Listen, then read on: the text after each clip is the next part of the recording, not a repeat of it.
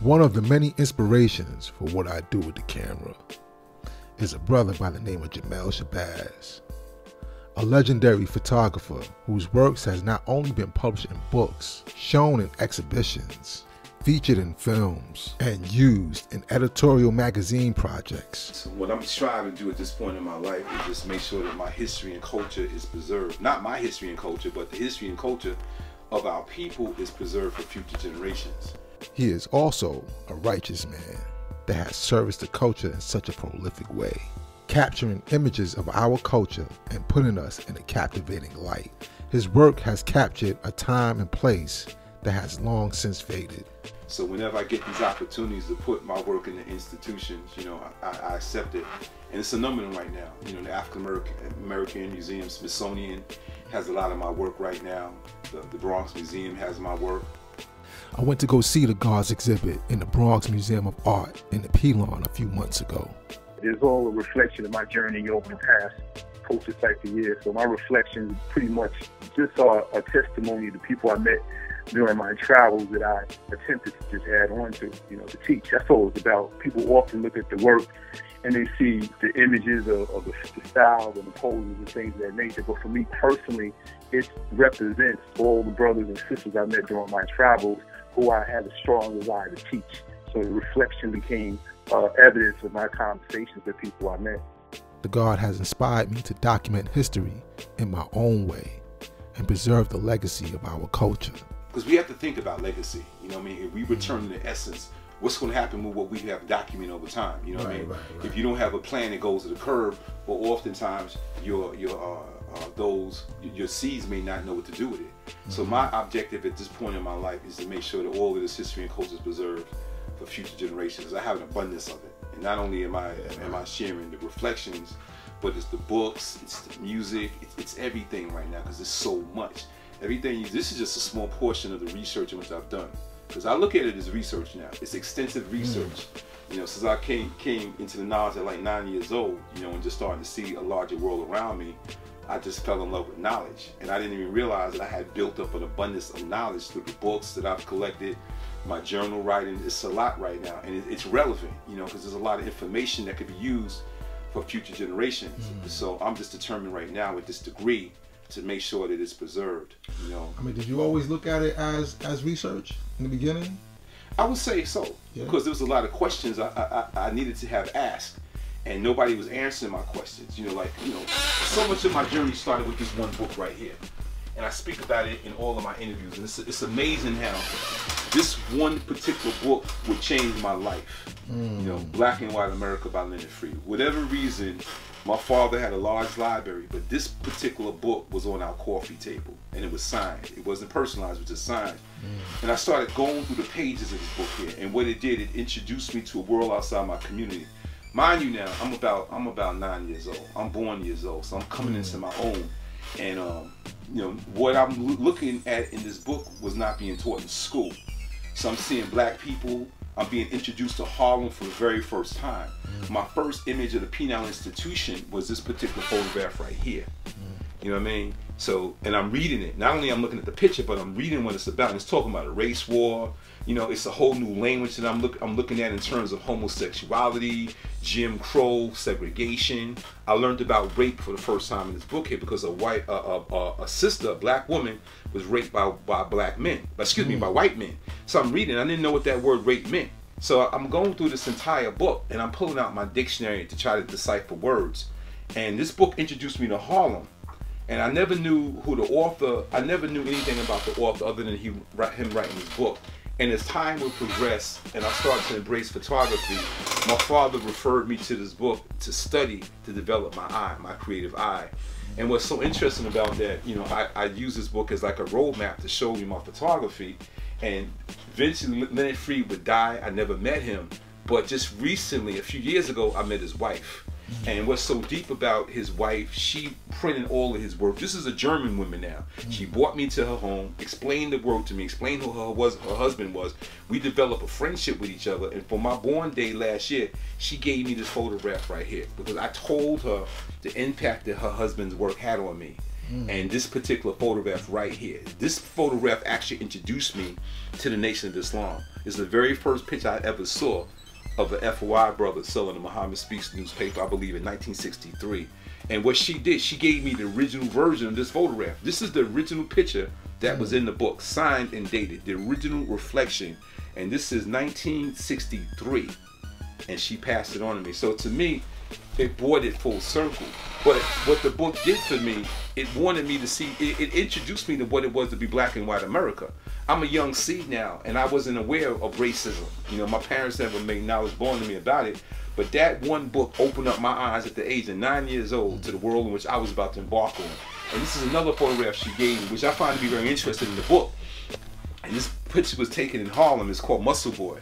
And what's unique about this picture for me, as I reference it, is that this book gave me muscles. This book mm. stimulated my brain and helped me to move forward as a young person to understand the life that I was about to engage in.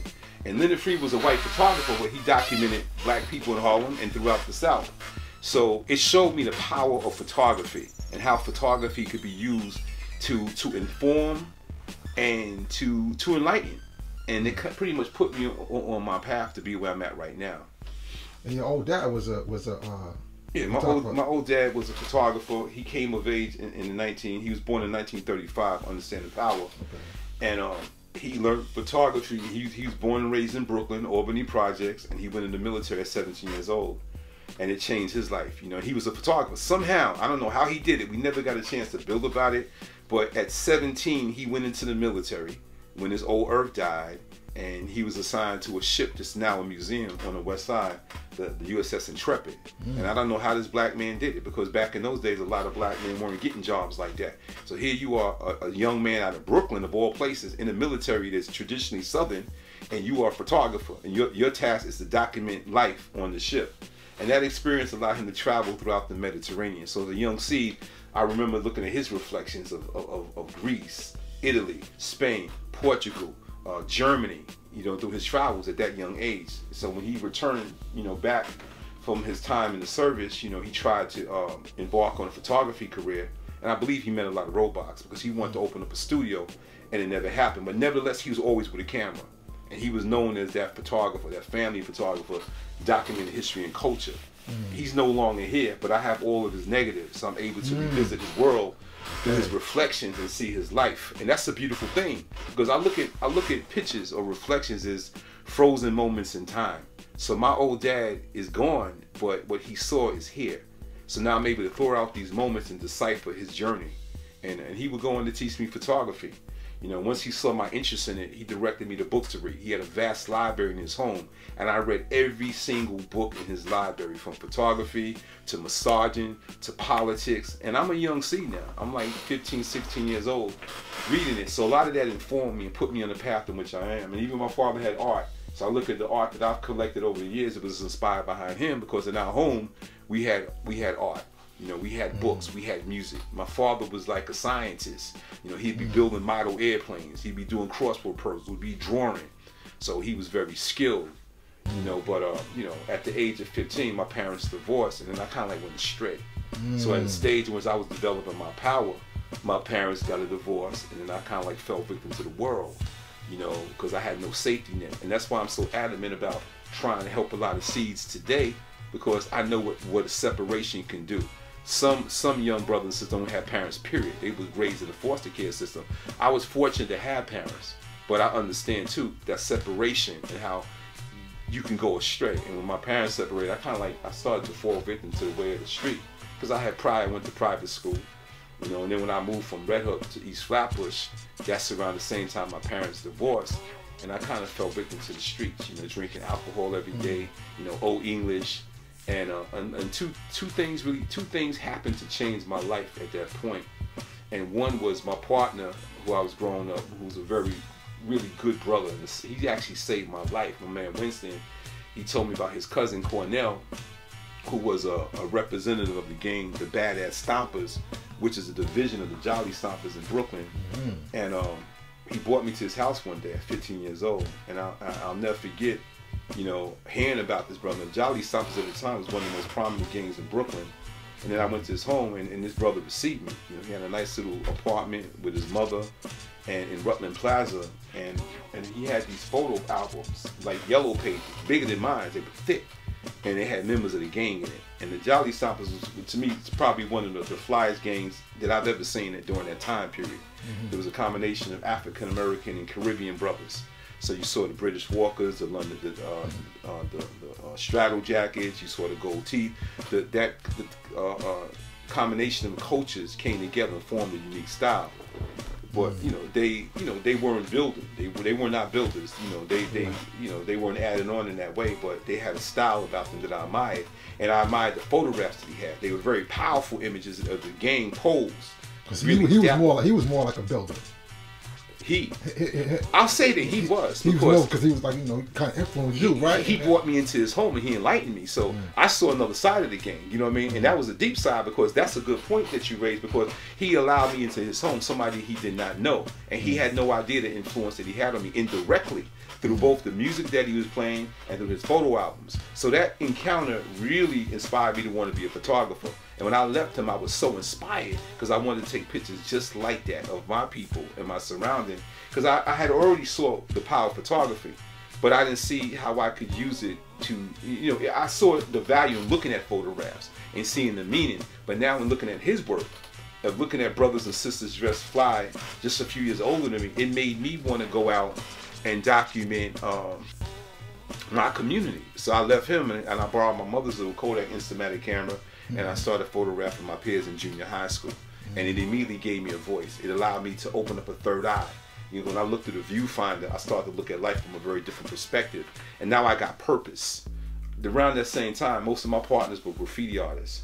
So that was a, a big thing, you know. Matter for everyone in my crew was a graffiti artist, the male and females. Mm-hmm. We had Evil Eyes, we had KO, we had AG, we had uh, uh, La Boy, Taiwan, you know. So they all wrote, and I, I, wrote for a moment, but that's that wasn't really what I wanted to do. You know, uh, you know, I was an artist, but the photography really w- w- was my foundation. That's what I wanted to do. It gave me purpose. Mm. It now gave me an opportunity to build with people. It gave me a voice. And uh, back in those old days, you know, we would chip in and buy film and go to the local drugstore and get them processed. And I have those photographs to this day. very, very important images that I've made early on of my people. And my crew was a very interesting crew because it was a combination of black and Latino. You know, living in East Flatbush, it was a, a mix. Mm. You know, I had partners that were Cuban, uh, uh, Haitian, uh, Puerto Rican, African American, Jamaican. We were all one mix, and we, we all pretty much lived in private houses, and we all had fathers. Mm. So, do you remember your the very first picture? Yeah, I do. You do. I, I remember some of them. At, at, you know, the role, and um, it's a book being published right now, showcasing a lot of those images. But it, it's a deep picture of uh, my partners at junior high school, you know, on this mm. beam. And I don't know where the vision came from, but it's a deep picture. And they on the, the, this, this, elevated beam, and I'm shooting it from a lower level. And it's like the clouds are in the back, and there's three of them. And it's a, it's a really strong photograph that I made early on. And at that point, I realized that I got something. And then it gave me a voice. And then something else happened interesting around that same time is that a brother who used to go by the name of Frog, you know, who used to kind of like terrorize the neighborhood. You know, he was a one man army. I met my enlightened. Now, my enlightened is a very interesting person because as an 85 percenter, he was he was a savage in pursuit of happiness. He was a stick up kid, came out of Crown Heights. He was a cold knowledge thing, and he was a straight up savage.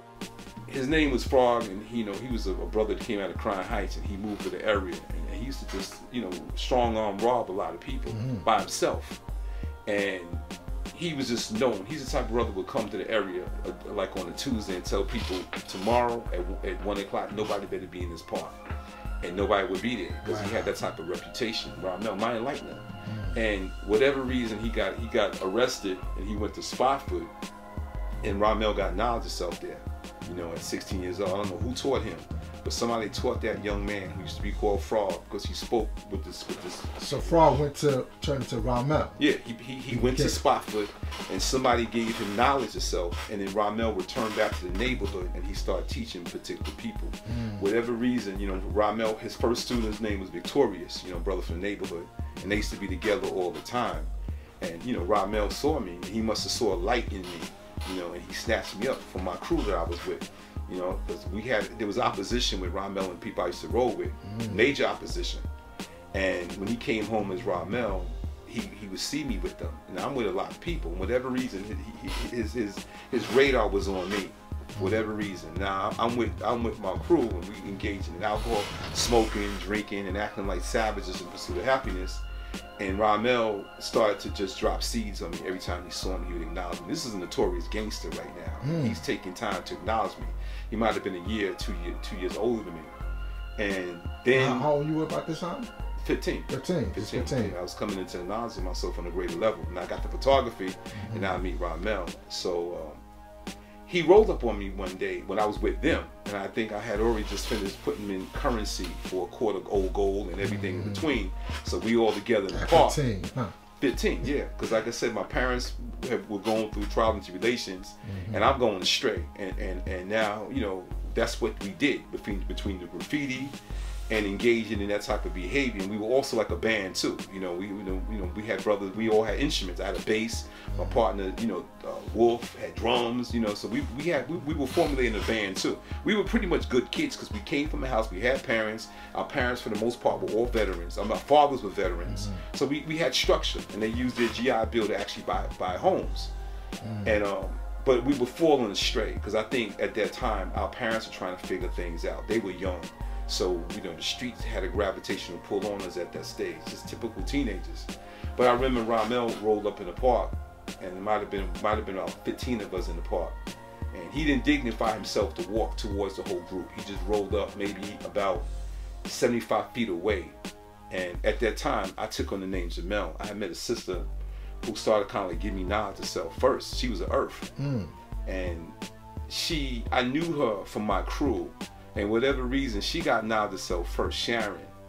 And she started wearing three fourths. So when my parents separated, you know, I, I reconnected with Sharon, and now she's an Earth in three fourths, and she knew 120.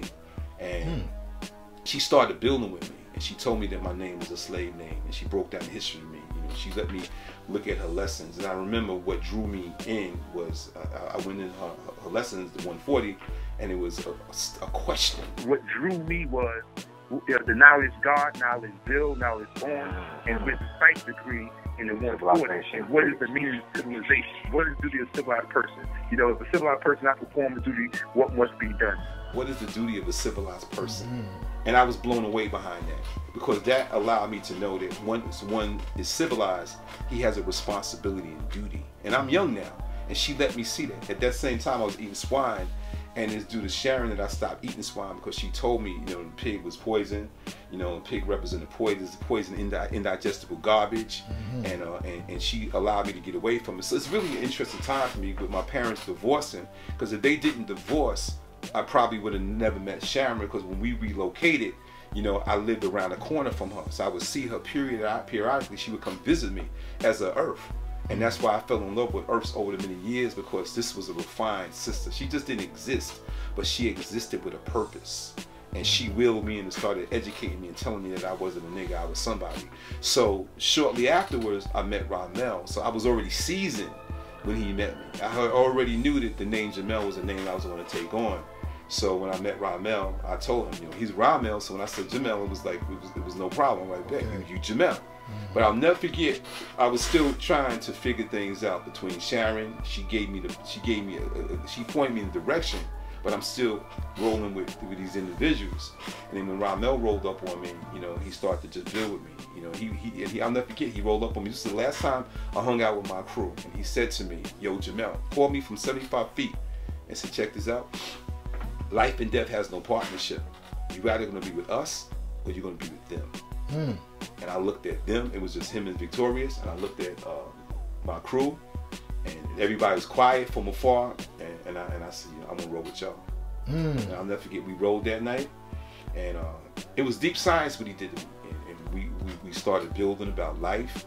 When we went to the liquor store, you know, he was able to get somebody to go in and get us a bottle of Bali Hai wine, mm. and we sat and we we drank the wine together, the three of us, and he just started building about life and purpose to me. And that changed my entire life, my whole view. I no longer wanted to be a savage in the pursuit of happiness. You know what I mean? Because at that stage in my life, I was a fool. I was a bona fide fool, living in a state of triple darkness. I was blind, deaf, and dumb.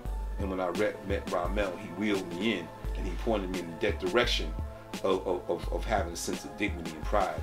And, and I never looked back from that point on. So I'm very grateful to what he did to me. And I had great love for that brother. But it's the sad reality that Ramel couldn't really self save himself. Mm. You know, the gravitational pull of the street was very strong. And, you know, it was very challenging for him. You know, he's a knowledge brother. He was short.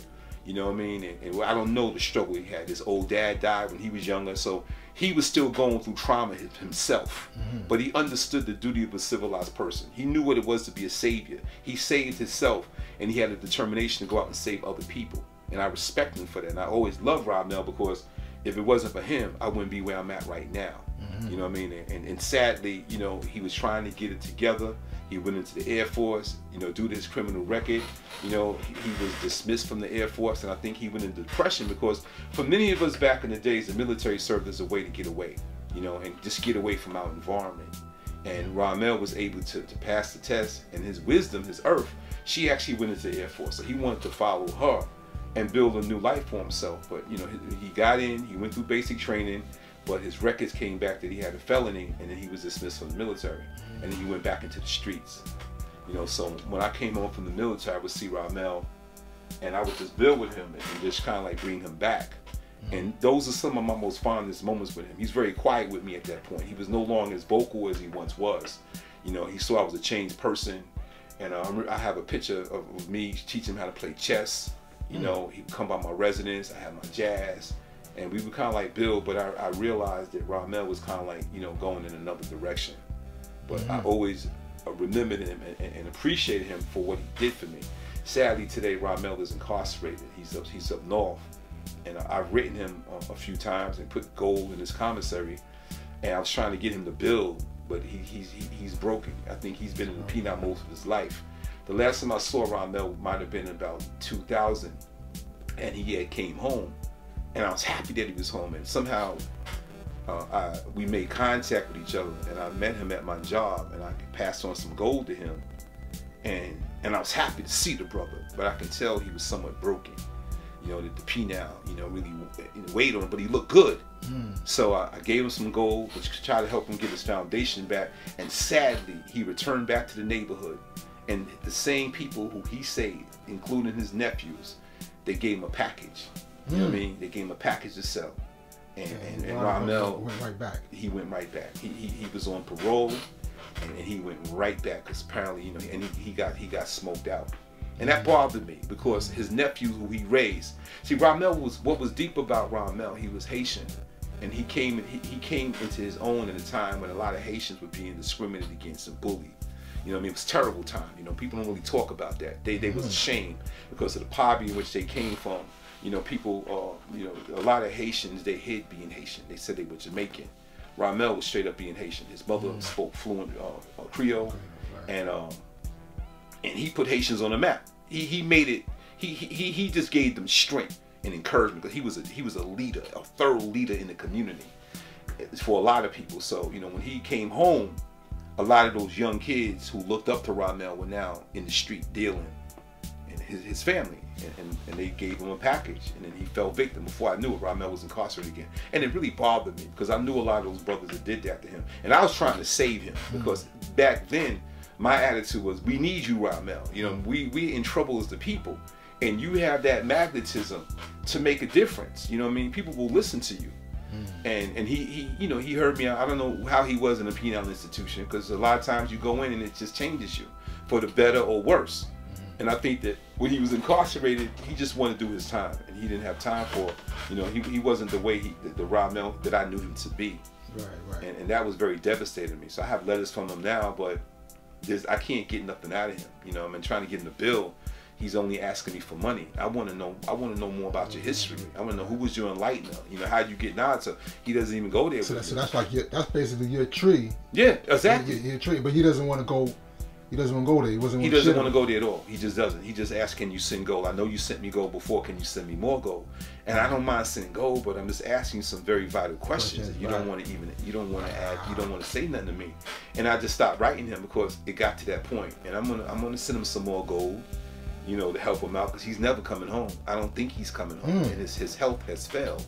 You know, he's had multiple complications with his health over many years due to the diet in the penal institution, which has contributed to diabetes, high blood pressure, and I think he's had a, a number of heart attacks. Mm. So uh, it's, it's a sad situation that happened with that brother because he was he was a light, you know, and he saved my life. He took me out of, like I said, that state of triple darkness. And if it wasn't for Ramel, I wouldn't be here right now. So you know, I have to acknowledge him and, and, and his contributions to the community. And I never went back. You know, I mean, once I got knowledge, so you know, I never wanted to to, to be. Um, uh, in that state, I knew I had a purpose now, a clear purpose to save our mm-hmm. people you know, and uh, in the 1980s was a deep time because I speak about the crack and AIDS epidemic.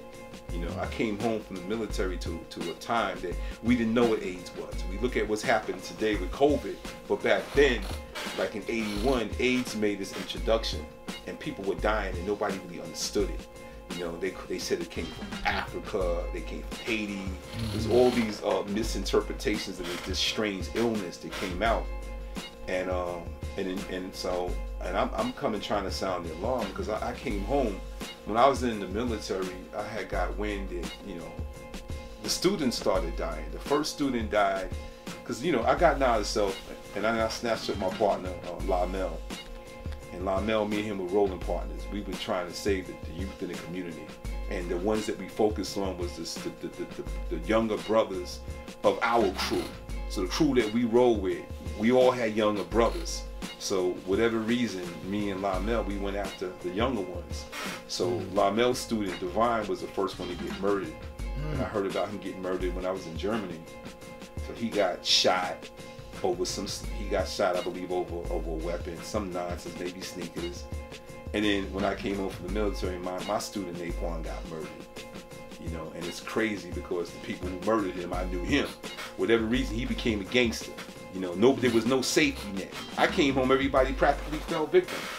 And it's important for me to say there was a turning point for a lot of us in 77 in particular.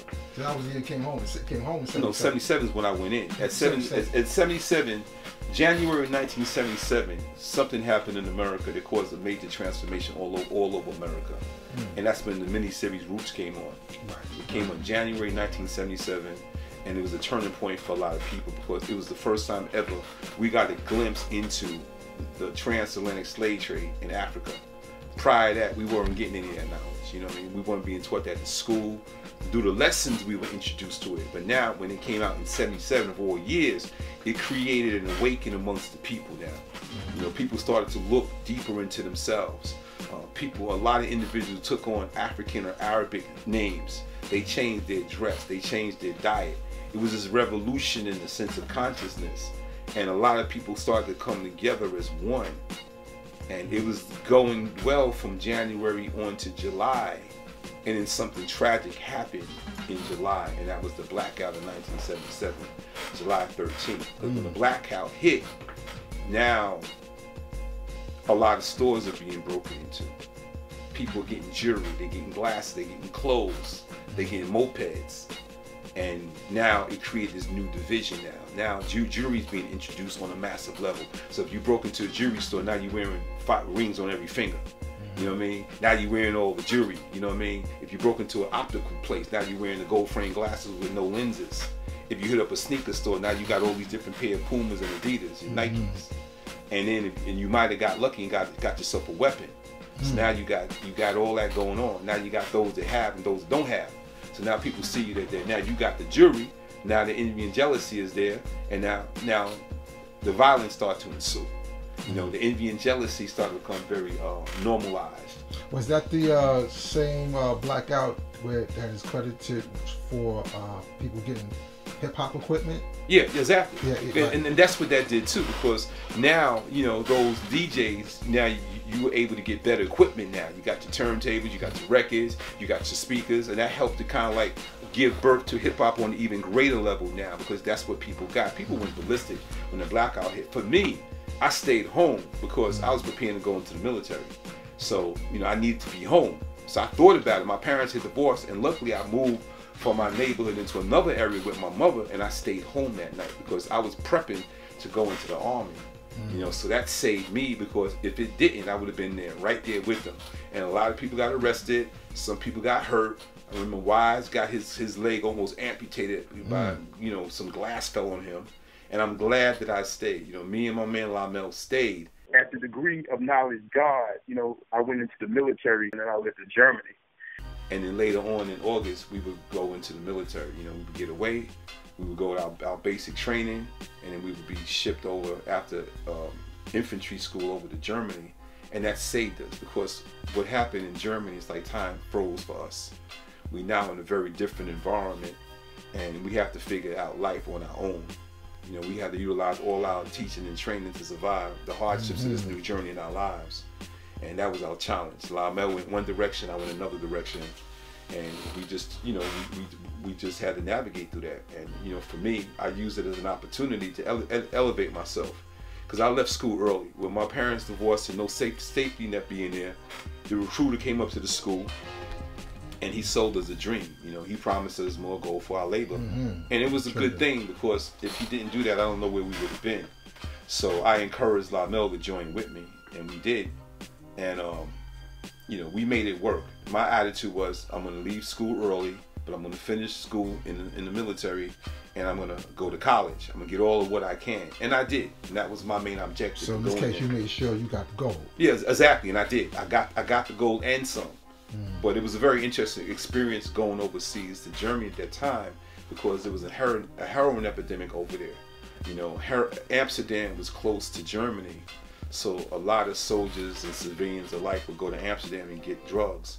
And it had a major drug problem between heroin, hash, Mandrax, you know, liquid speed, mm. Thai stick.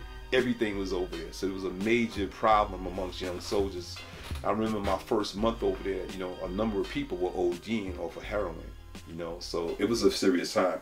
I'm luckily, I'm, I'm fortunate to have gotten saved because a brother who didn't smoke and drink snatched me up and put me under the wing and started giving me guidance. He's a brother I'm tight with to this very day.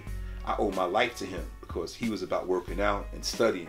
Mm-hmm. And in my unit, practically everybody got high. You know, every drug was there.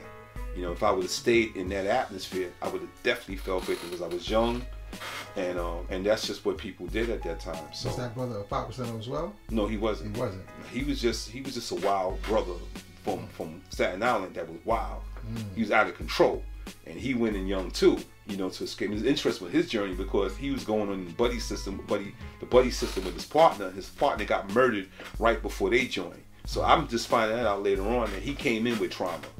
You know, so a lot of us came in with trauma. You know, many people who join the military, some people come from foster care, violent backgrounds. They just it's just a form of escape for a lot of us. You know, just to get away. Luckily, the war in Vietnam had just ended, so we didn't have to go to war. You know, my father never wanted me to go because he saw what war did, and I was naive. We were all naive. We we didn't think about war at that time.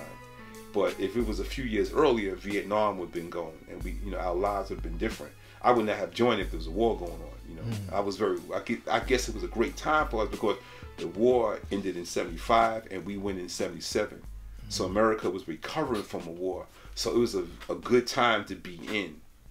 You know, so. Um, when I came home to the military, you know, I, I sensed something bad was going to happen. That experience prepared me to come home back to the world. And when we came back, I came home to a war zone. You know, when I think about coming home, I think about a lot. This is one of the first brothers I met when I came home. I reconnected with, and this is my man Carol who lived around the corner from me. And I would see Carol and we would build.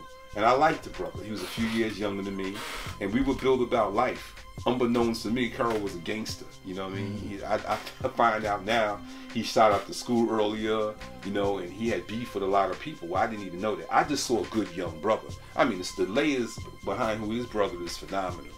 You know, it, it, he's loved by some and hated by many. But I just saw a good brother. I looked beyond the reputation. I looked at a good person. And this I, picture was taken in what year? This particular picture was taken around 82, 83.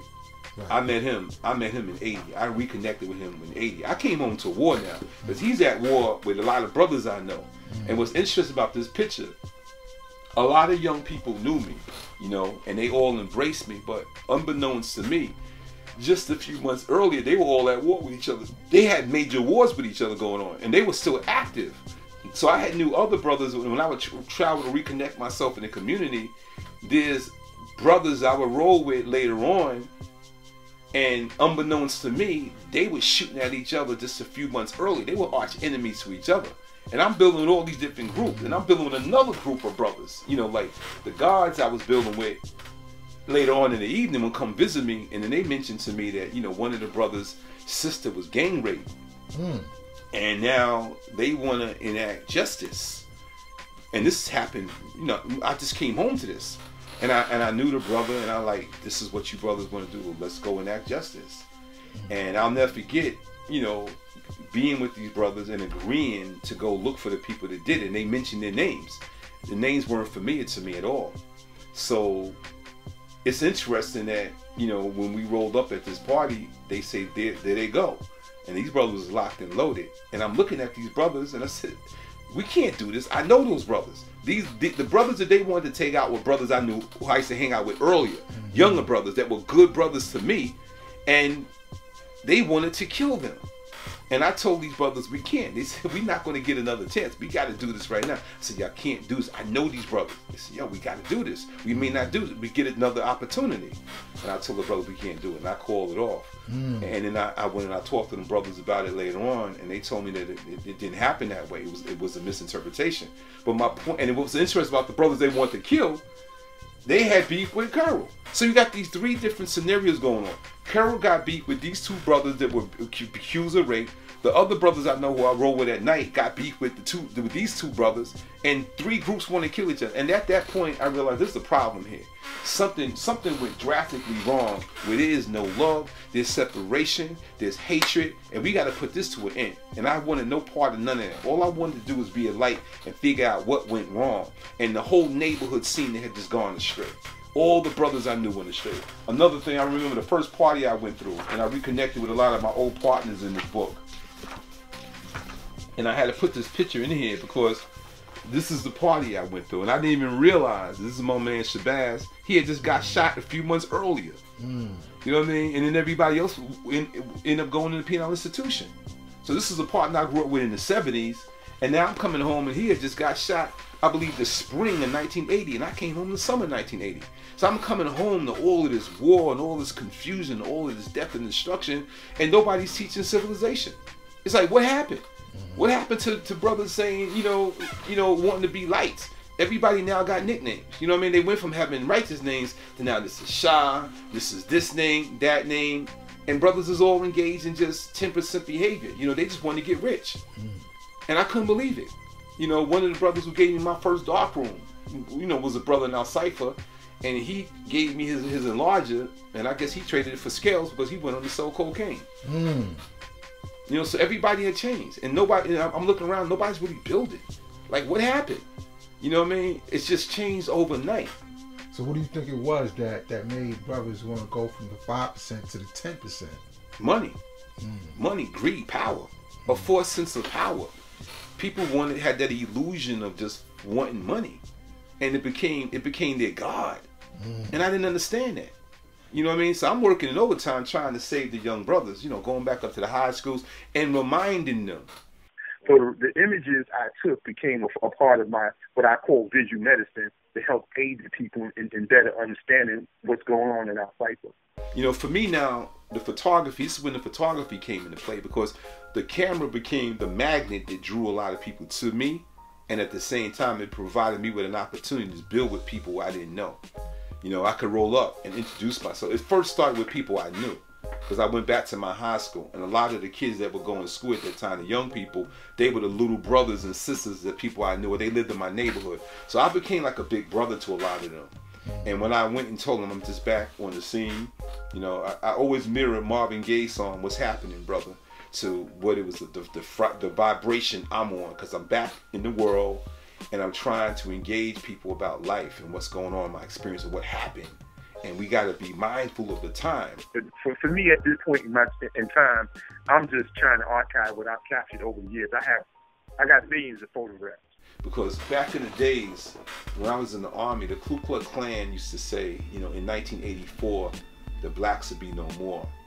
So mm. I really believe that there's going to be racial conflict in America in, in 1984. And even the book 1984 by George Orwell spoke about this change in society. and uh, and I realized that what they actually meant was the change was Ronald Reagan become president. Mm. Because when Ronald Reagan became president and the crack epidemic came into into fruition, there was a new war that was going on. There was a genocide that was taking place. Uh, you know, the crack came into our communities and transformed people overnight. You know, sisters that were on their way to college now had fallen victim to, to addiction. Uh, young brothers that were on their way to college or in college, they they, they made conscious choices and wanted to sell drugs. You know, because that that money behind crack was so good for a lot of them, and then the high was good for other people. So crack was a perfect instrument that was used to really destroy people. And I witnessed that in real time. And I'm looking at it and I'm devastated behind what it's doing. Now people falling victim to it. And I understood it because I saw what heroin did and when I was in the military and I'm looking at what crack is doing in our community. And so many people started falling victim to it. Mm. And then now Ronald Reagan becomes president and now he enacts a war on drugs. And we know what that meant. You know, now you have mass arrests and you have people who needed rehabilitation versus incarceration, and now it's this big dragnet that's pulling everybody in, mm. and people falling victim to it. You know what I mean? It was really a tragedy to see that.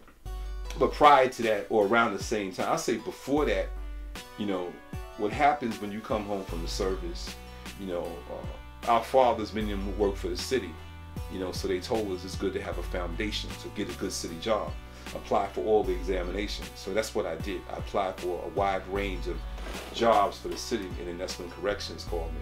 Mm-hmm. And I realized that this was my assignment now. You know, I need to go here because this is where our people are at. And this and is in 84? This is in 83. 83, right. So that's when you got, okay.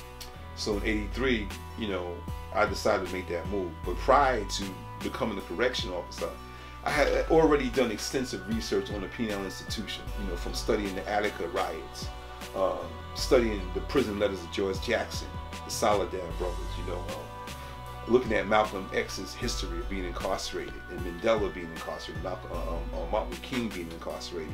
So I knew that, you know, inside the penal institution was the place to be to try to save our people. Mm. And, uh, and that was a deep assignment because I, I view it as an assignment in life you know, that I had to go deep into the belly of the beast to try to reach our people. And I had I had partners that was incarcerated that were hit with 25 to life. So I came home and they got hit up back in 79. They weren't never coming home.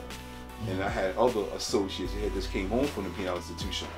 Due to social media now, finding out more and more about people I rode with. You know, they keep telling me a deeper history. And I didn't realize that some brothers that I had reconnected with in the early 80s had just came home from the penal just came home fresh. And it's through my conversations with them that I realized that there's a lot of innocent people locked up. And then there's there's some who, who made bad decisions in their life. I was one of them. I, I luckily that my path was very different because I could have easily been right there. You know, but I think that I was being groomed for a higher calling in life and I didn't go. Instead, I went in as an officer. So and, you, encountered, you encountered a lot of your air like. Oh, no doubt, yeah, and, and yeah. What was what was that like? it was shocking, you know, because it's like when first when I got there was so many people that were there. I know I knew so many people that were locked up. It's like now I know why I haven't seen you before because you're here, mm. you know. And I was I was on Rikers Island, and it, it just blew me away to see all these healthy, strong individuals that were behind bars, and then what it did to them. Because now it's survival to fittest, fittest, innocent or guilty.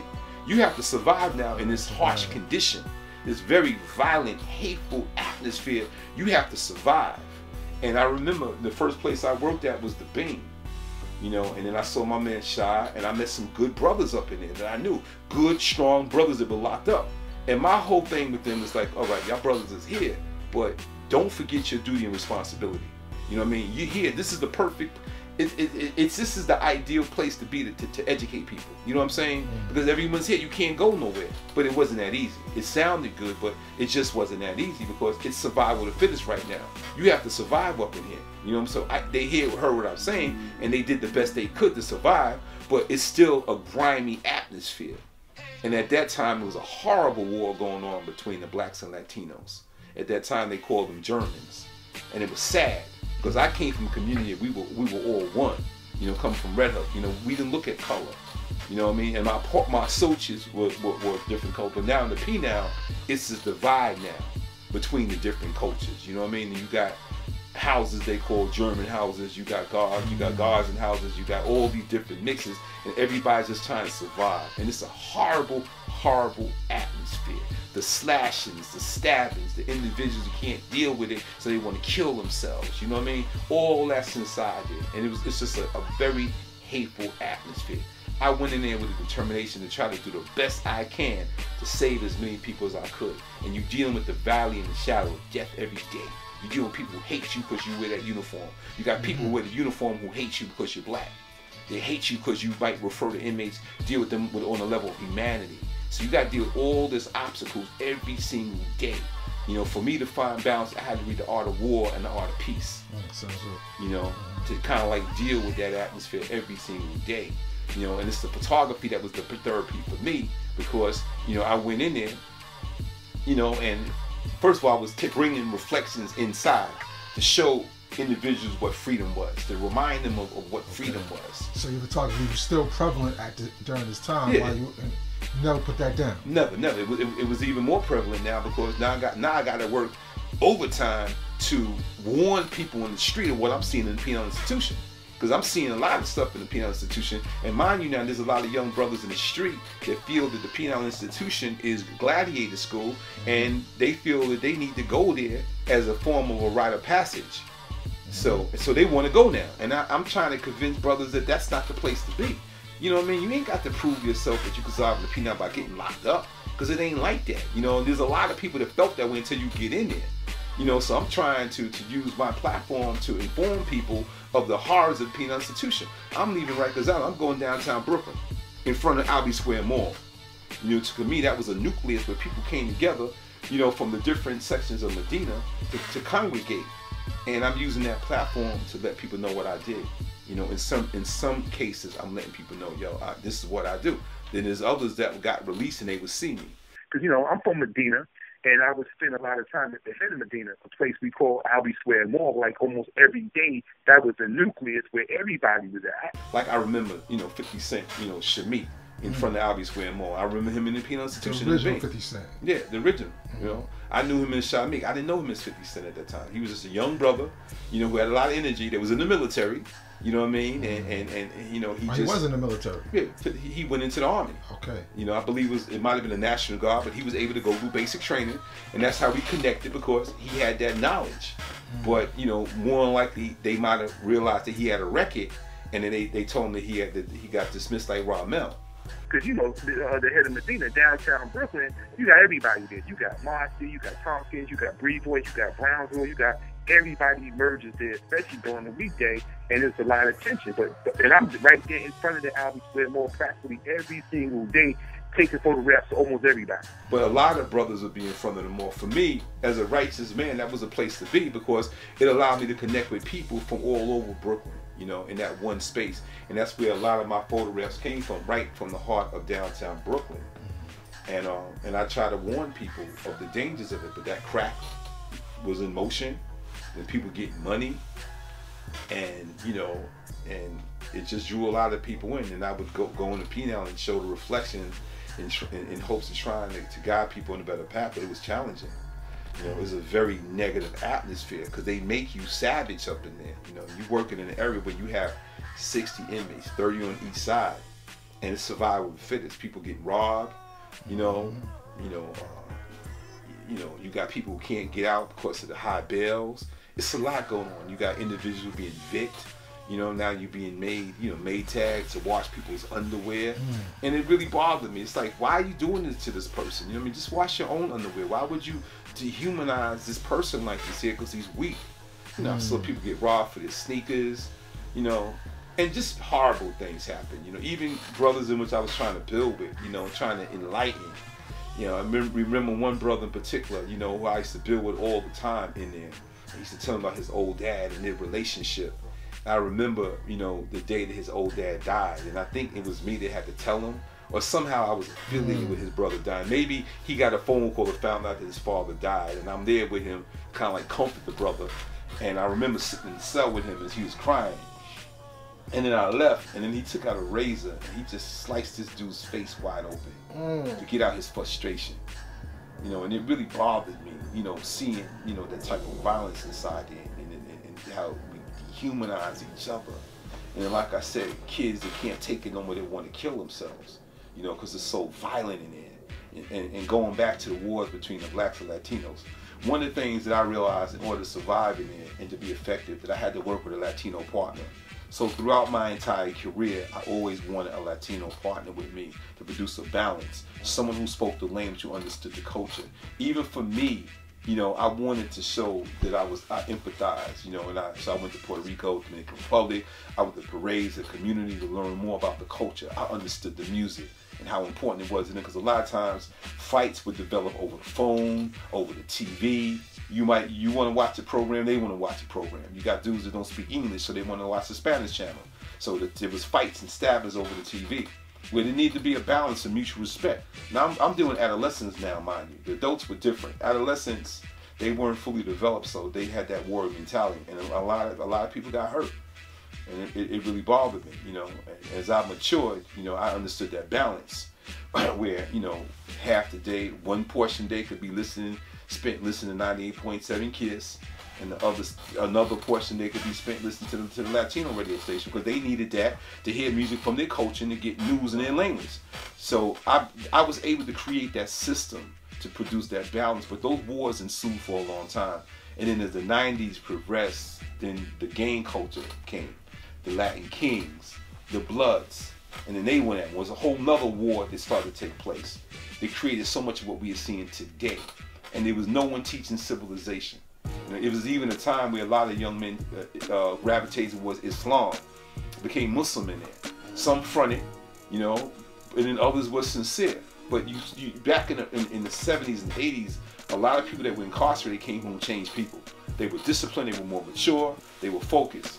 Now instead, you know, people came home more violent, more vicious. You saw more scars on their face. It was horrible, horrible. So, so what do you think it was that you know uh, that brothers you know, in the 70s were, you know, get going get more knowledge, right? You say because when you got the knowledge, right, you got it in, in God Howard, right? So you know, and, they get knowledge, and, and but then somewhere along the line, like you know, in, in, in, in institutions, they they running towards the gang life.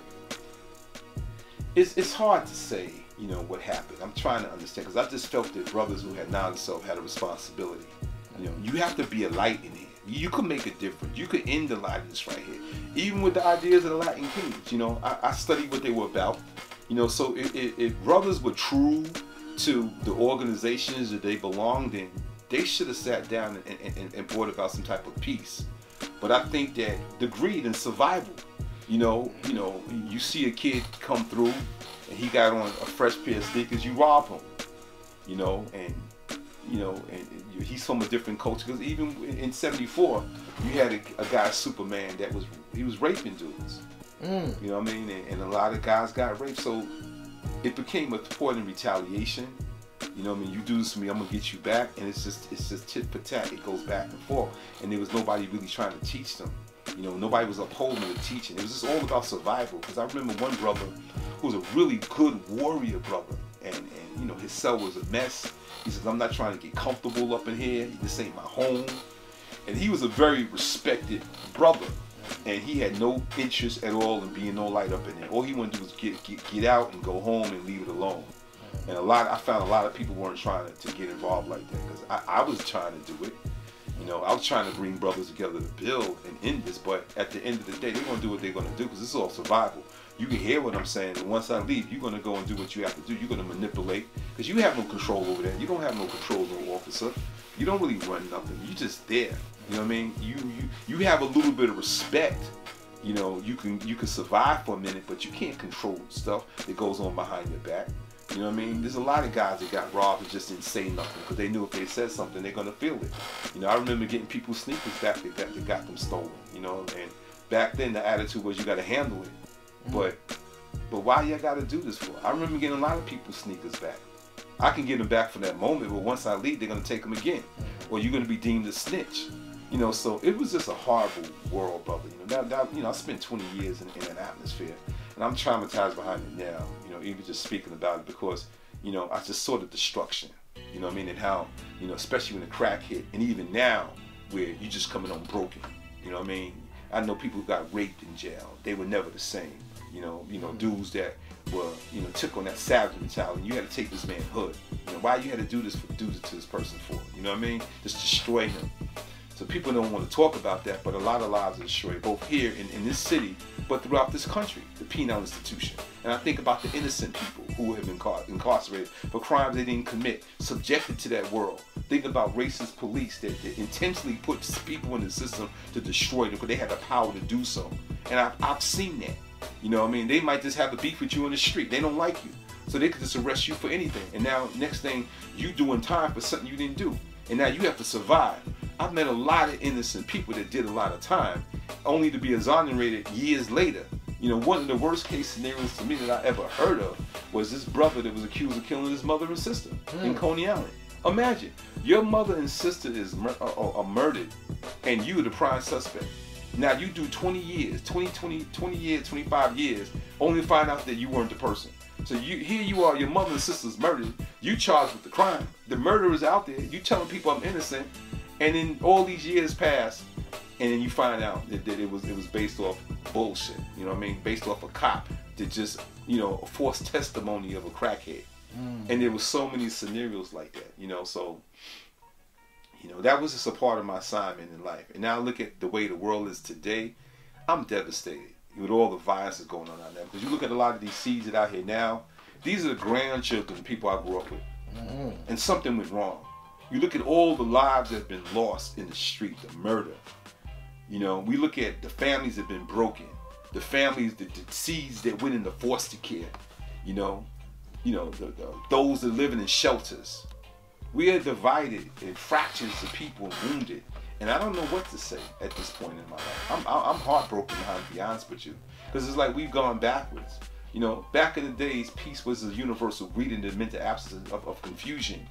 And now it ain't about that no more. It ain't about calling the person a brother no more. You know what I mean? It meant something back in the days. Now people say, I ain't trying to hear that bullshit. Mm. You know, you call a woman a sister. I ain't your sister.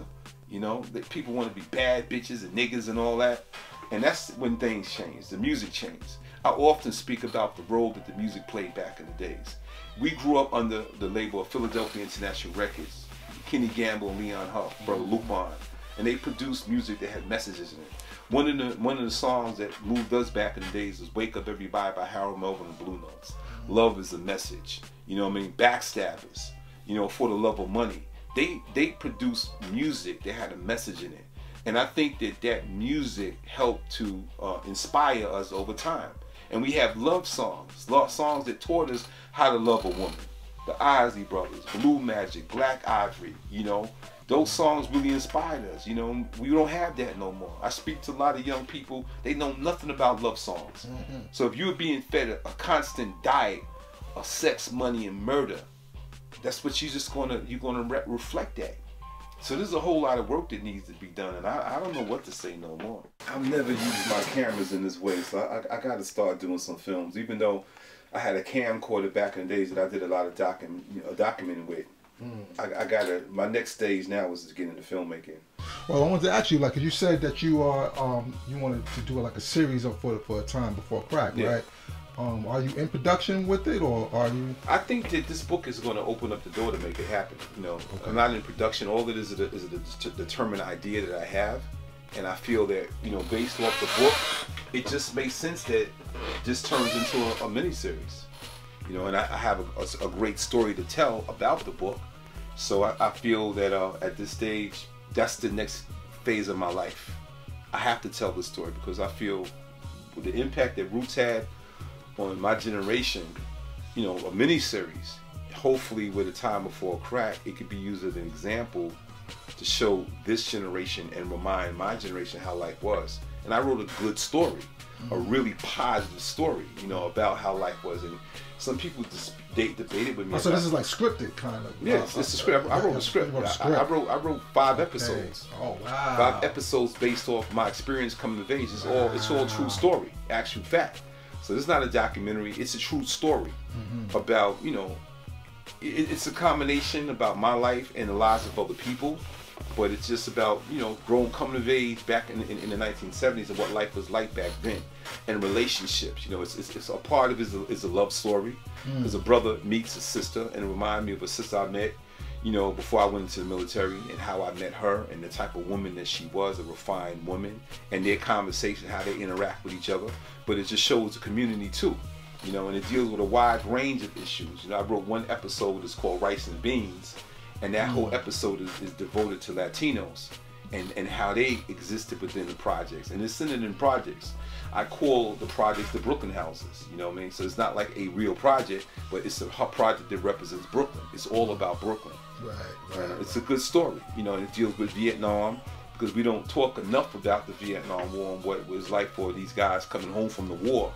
Because now you got a guy who, who, who was in heavy combat beyond what anyone could ever imagine you know, seeing people blown to pieces and, and having to kill individuals. And now, you know, you back you back in America. You went you went to Vietnam the same year that Martin Luther King was assassinated. Mm-hmm. And now when King is assassinated in Vietnam, uh, when he's assassinated, you in Vietnam, and you got folks waving the Confederate flag celebrating. And now you wondering why am I here? You know, even to speak about the fact that a, a lot of a lot of young men were drafted in, to go to war and put on the front lines. So we don't talk enough about that it's very close to my heart to you know in some of the most extensive research I've ever done. So one aspect of my um, um, series is about the war in Vietnam. Hmm. So a lot of it is based off my individual research, extensive research into different things that transpired, and then based off my actual experiences, my actual encounters. My strategy was to do books first and then turn the books into movies. Because once you look at the books I've done, there's there there are imperfections in everything that I've done. Mm. But it's my hope that give me an opportunity to, to do it. You know, and, and I believe that I could produce something great. Gordon Parks went from doing uh, books, you know, to doing um to doing film. You know, he did the learning tree. So I want to have that same opportunity. So hopefully someone will, will, will, will look at my book and say, let's do this. Mm. You know, let's make a movie called A Time Before Crack, a series. And I look at what's on Showtime, HBO, Netflix right now. There's a void. They talking about folks is talking about doing a remix of Scarface and Paid in Full. I mean, really, do we need that right now? Do we need movies that are going to continue continue to add our destruction and movies that that uh, present negative images of us as a people? I feel that I have a responsibility to use my voice and platform to produce, produce content that's gonna uh, inspire people. You know what I mean, and show the world another side. So a time before crack is that. Mind you, the book is called A Time Before Crack. Because I want people to know how life was before the crack epidemic hit. Because once crack hit, life as we knew it was forever changed.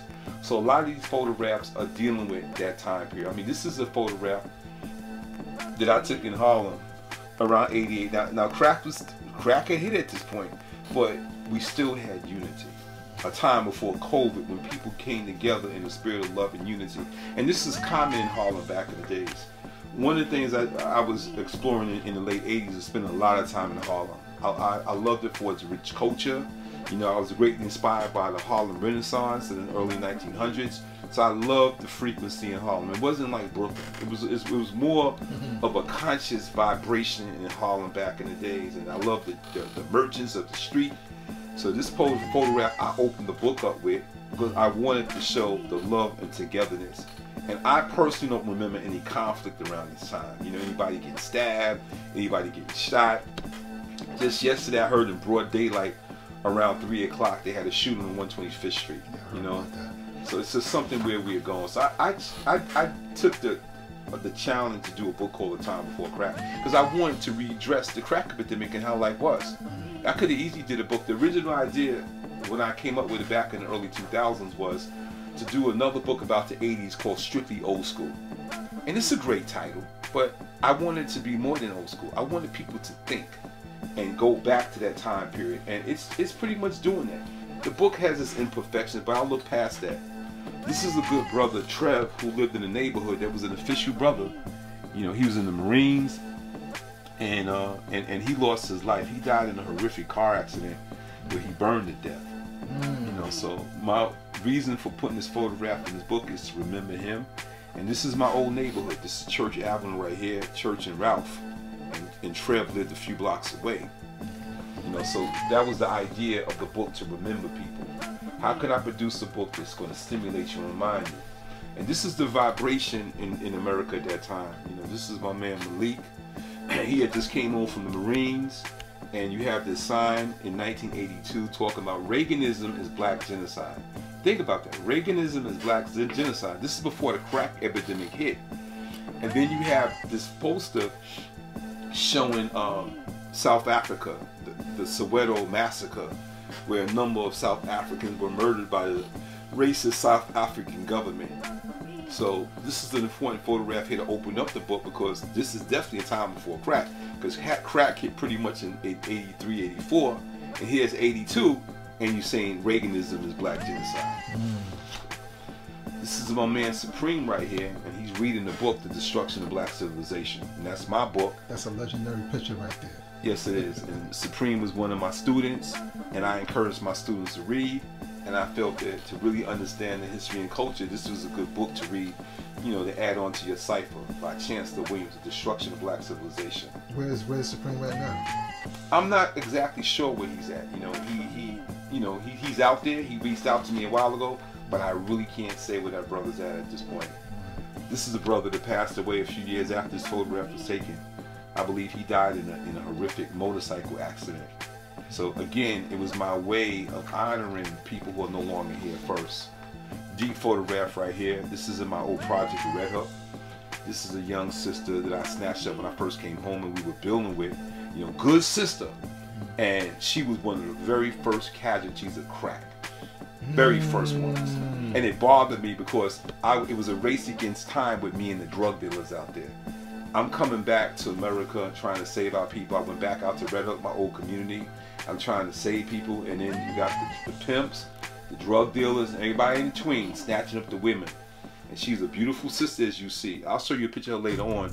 You'd be surprised what she looks like right now. And this is a brother I grew up with, Preston. Mm. And Preston was doing his thing out there with a lot of women, and he, and he died. You know, mm. so I went back with a determined idea to raise our community. You know, brothers from the neighborhood. You know, when I came home, party.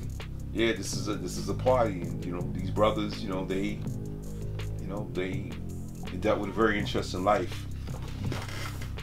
So page after page after page is is stories. You know, I would travel on the trains looking for brothers to build with.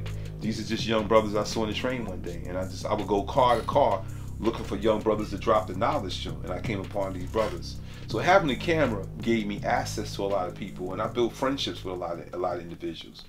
Because you know I'm from Medina, and I would spend a lot of time at the head of Medina, a place we call Albee Square Mall. Like almost every day, that was the nucleus where everybody was at. This is inside the Albee Square Mall where I spent a lot of my time back in the days. Yeah, so I would be here during the winter months. Really, yeah, the winter all year round. I would go to Albee Square Mall before crack. This photograph was taken in Brownsville. It just shows you the frequency that somebody would even write that on the wall. So I like to pose people, you know, and, and, and kind of like tell the story. And I focus on a lot of the wisdoms too. These are sisters from Erasmus High School, and I'm friends with a lot of them to this very day. Look at them. They're slim. They have shoes on. They all have natural hair. This is common back then. So just think about how women look today versus how women were back back back then. Very refined. So I focus a lot of my teaching on the sisters, you know, trying to encourage them to, to think very wisely in their selection of mates. I would take sisters to the park and get orange juice and, and bananas and just build them about life. You know, just brothers. This is Delancey Street where I spent a lot of my time, you know, getting my clothing. You know, so you always ran across brothers going shopping on the Delancey Street. Here you got a brother with his bag here after shopping. Brother got his bags here. Probably got mock necks, uh, shark skin pants back in those days. Mm-hmm. I always placed myself in places where a lot of people were at just to connect with them. So it's an interesting book. It's just an effort of mine. This is a young brother from my building. I used to babysit him, brother Tom Meek from Red Hook. And he went on to be a you know a serious brother back in the days brothers from the rally, you know, at a really this is these, a time. These are five percenters here. Yeah, these are gods. These are gods. So this is this is this is the rally, you know. And this is what this is what years is this? This is like 82, 83, 82, wow. 82, 83. Again, the sisters, you know, they don't have three fourths on, but they have shoes, no makeup on, you know. this is a deep picture. You know, I shared this on my social media feed uh, earlier this year, only to find out that three of these sisters had died. Oh, so wow. think about it. Three of the four have died. Mm-hmm. And, uh, and I found that out by just simply posting this here. That's why I love to post on social media because it gives me insight into what happened. And this is one of my favorite places in Brooklyn. This is in Prospect Park, where I spent a lot of my time at. You know, these are two sisters I call my little sisters. You know, that I took, I met in Erasmus. I took them to the park to build them, to take them away from the concrete and bring them into a more natural environment where we could just sit and we can kind of build. You know, and, and um, Aine, and I forgot my sister name. Good sister I'm still connected with right now.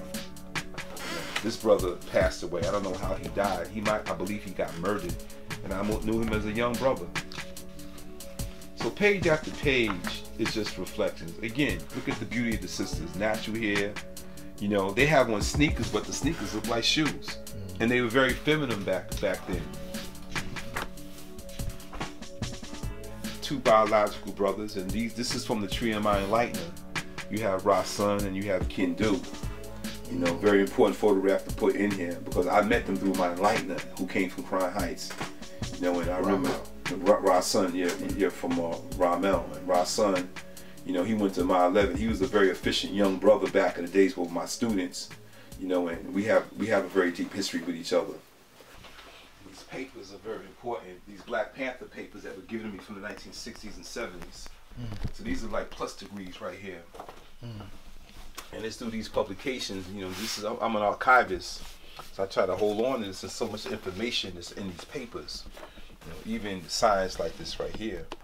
You know, that deals with, with lynching, and this is 19, 1970. So these are the plus degrees that I hold on to that have really, you know, keeps me aware of what's happening. You know, keeps me informed of, of the history. And, then, even when Ho Chi Minh was the, the great leader of North Vietnam, and he wrote about lynching during his coming to America in the early 1900s, and, and he saw what black people were going through in terms of being lynched. So one of my partners I work with was actually a correction officer, passed all these papers on to me. And these papers are very deep because when people want to understand my, my, my, relationship to the nation, when I lived in Red Hook, before I even got knowledge of self, I might have been about 12 my sister had a boyfriend that was in the nation, and um, I really admired him. as a few years older than me, and he was a serious FOI brother. And when I came home from the military, he gave me a stack of Muhammad Speaks newspapers, and it blew me away that I would reconnect with this brother, and he would give me all of these papers that had so much information in them.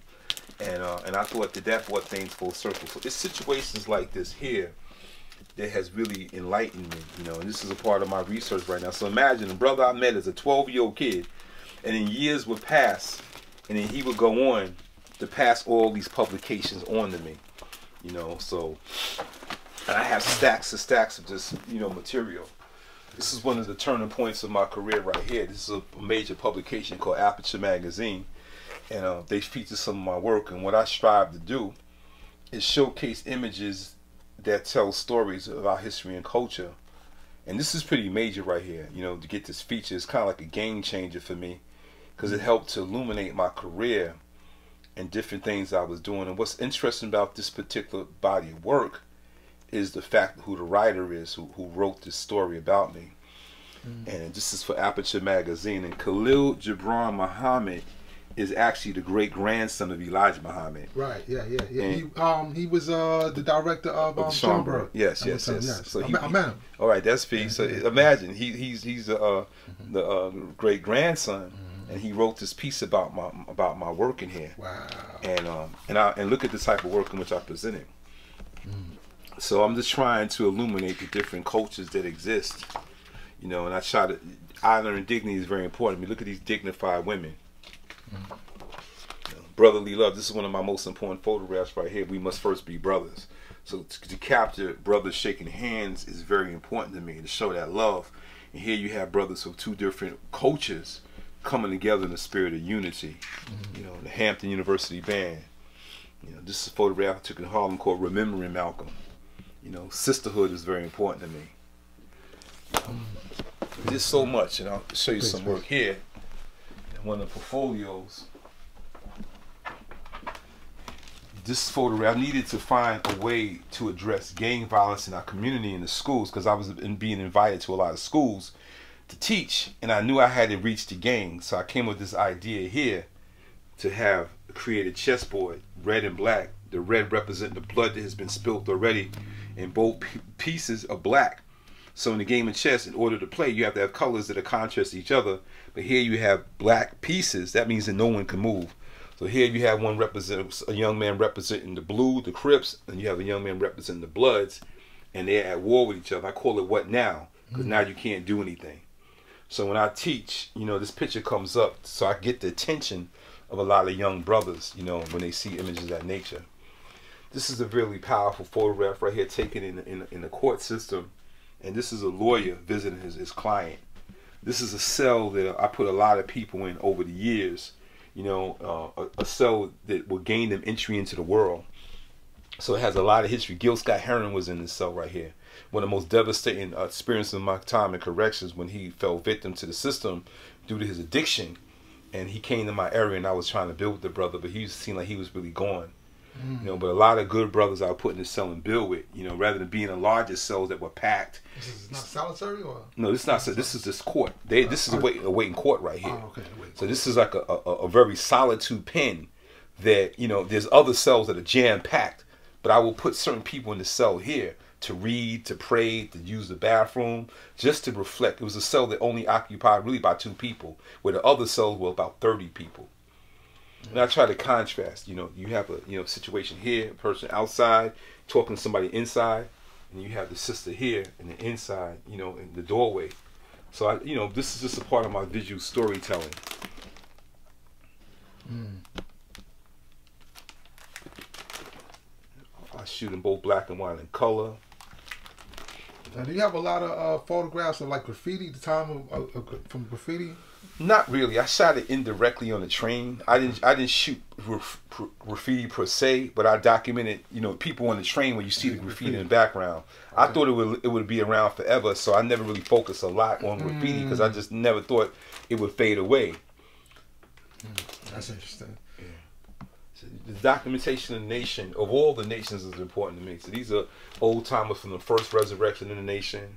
These are two sisters that used to be Earths right here, Shaquan Asia and and, and sister um, Shanasia. Shaquan Asia and Shanasia. They were both Earths in the nation, dynamic Earths. Mm. You know, Shaquan Asia. Both of them are my dear sisters. So just a little bit, you know, my trip to Ethiopia was one of the greatest experiences wow. of my life Okay. travel to Ethiopia and document the culture. And again, the Rastafarian sisters. You know, mm-hmm. you know, love is always an important element of my work. You know, documenting couples.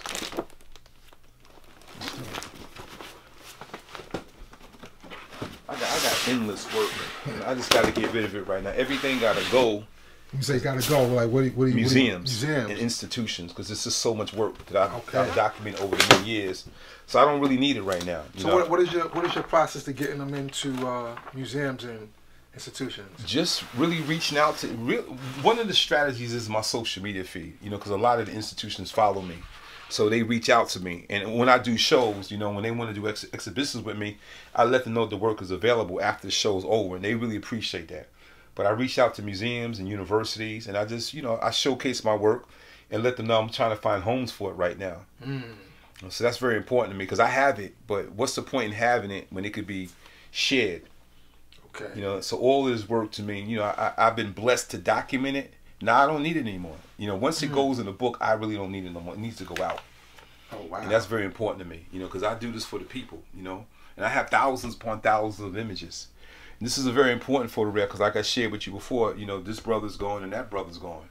Mm. You know, so it means a lot to their families now that have froze this moment in time for future generations to see.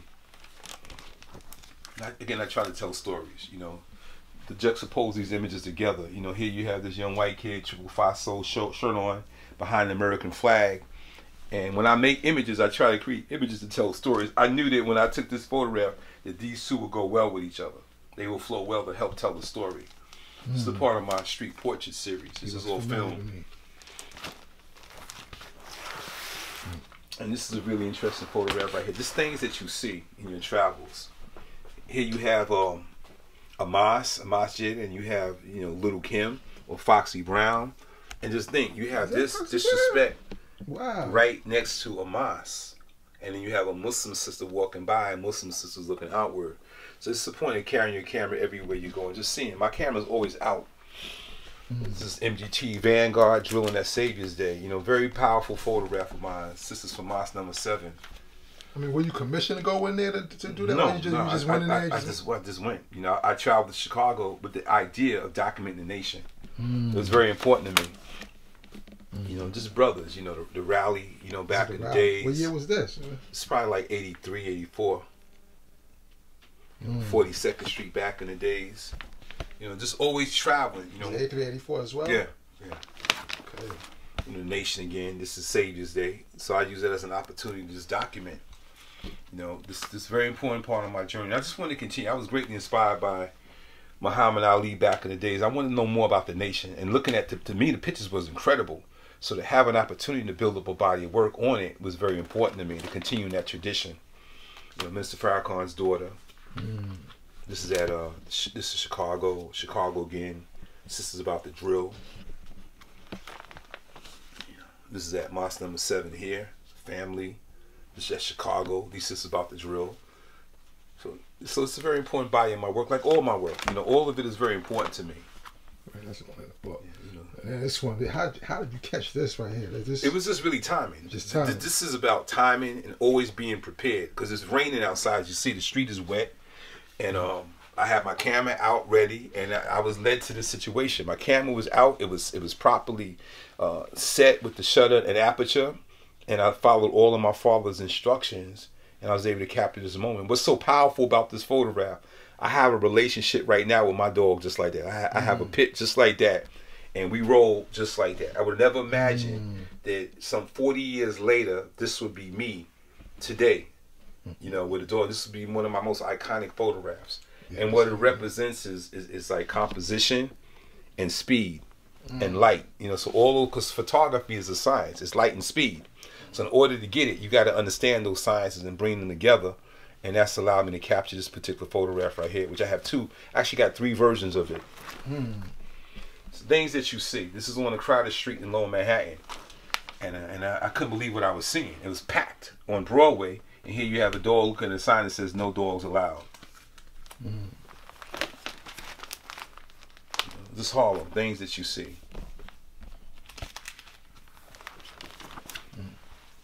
Some advertisement wow. I did. You know, this is for Pro-Keds. And this is for a company called Umbro, you know, in the train station. Mm-hmm. So I, I use the city streets. Jacob the jeweler, guardian angels there, you know, and then the despair. Mm. This is a powerful photograph right here. This is what I learned about photography: to create images to tell stories.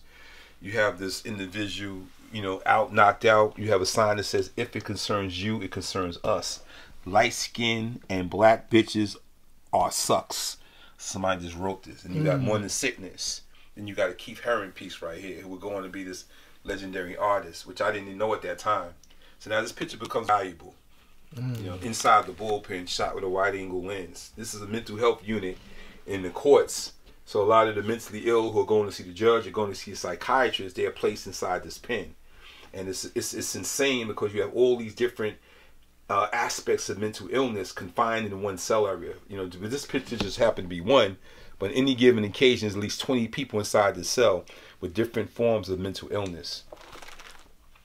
And again, photographs of, of the sisters out there on the street.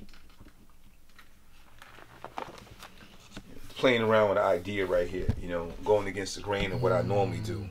I call this Ghostbusters, but you have this renowned artist painted this, and now you got a brother with his girl with his toolie out aiming.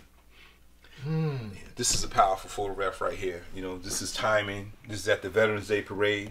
Here you have these young ROTC kids, junior ROTC, and you have this the, senior ROTC kid, and they all looking up to him. I call this one looking to the future.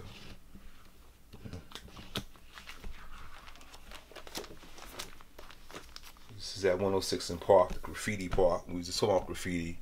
And these are two renowned artists here. I know this is Sign. I don't know his name. 42nd Street back in the days. I spent a lot of time out there in the 80s just documenting that culture. Mm. It's a powerful picture. You know, this is what led me here was really interesting. I just happened to see them building pretty much just like that. And then something told me to engage them in conversation. And when I did, I found out these are all veterans. Mm. She was in the Marines, he was in the Army, and she was in the Navy, I believe. They were all veterans and they were friends. And I call this the new face of war because you would see this photograph and just assume they're just regular people, not realizing these are all veterans mm. of three different branches of the military. Mm. And just, you know, caption images to tell the story. The photograph him by himself is one thing, but now when you include all these different elements in here, it gives greater depth to the photograph. Mm-hmm. You know, you have a march for Mumia in Philly, Stop the War in Iran, Malcolm X, brother standing in the square. You know, so there's a lot going on. But like I said, by himself is one thing, but now to put him in here, his shirt blends with the yellow, it helps to tell a deeper story. Same with this photograph right here. You have police officers. This is a very rare picture because it ain't often you see police like this here. Mm-hmm. This is at the Mean Youth March and I happened to see them then. I want wow. to show cops in, a, in, a, in another How light. There? All right, so you know, yeah. and you hear we have a sign that says we love our youth, and you have police officers, you all officers of color. So it's just trying to tell the story, you know, with the camera, mm-hmm. you know, documentation on the train, different things that you see. My man Luis Mendez, you know, good rolling partner of mine, just a good associate over the many years. Mm and this is a classic photograph of a brother who's a follower at that time of Silis Muhammad. And here you have a paper that says Muslims speak on unity, and he's holding up the tradition of Malcolm and save the black family. So things that you see and you capture. Mm-hmm. This is an interesting photograph here because I have posed pictures and unposed. This is Coney Island, and I call it four degrees of separation. So sometimes titles are important for me to have to go along with my photographs to tell a deeper story. So you have four different people from four different situations in the time before cell phones, and they're all, you know, separated by a booth. Mm. And now these phones don't exist anymore. So this right. becomes a very iconic, classic photograph. This is a historic picture right now. You know, legendary Kid Freeze, B Boy, and wow. Lucky Strike. You know, a, a, renowned brother in the hip hop industry. He has since passed away. Mm and now this goes on to be a very important photograph. You know, it's a lot of elements here. You got the boombox, you got two individuals, Latinos, and you got the graffiti in the background. I like this synth mega. Do it again.